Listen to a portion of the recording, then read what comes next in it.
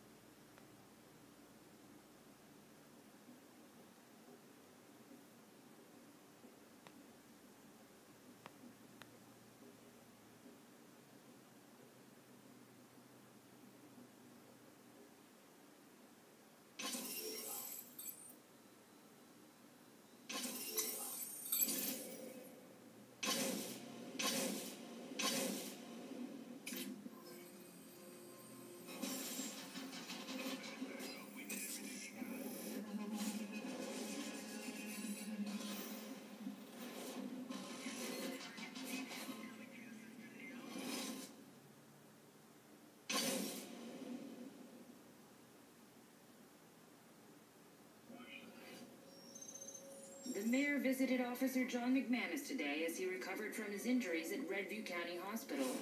While street racing in Redview County has caused thousands of dollars in property damage, this is the first time it has crossed the line.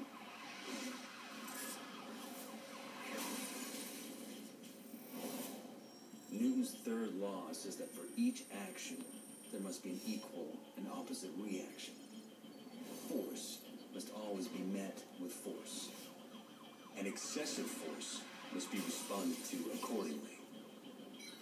The racers have shown that they are willing to cross the line in their quest to disrupt society. We must be willing to do the same to protect it, to teach our enemies that it is they who are in danger. McManus won't be the only casualty. We bring our justice to them.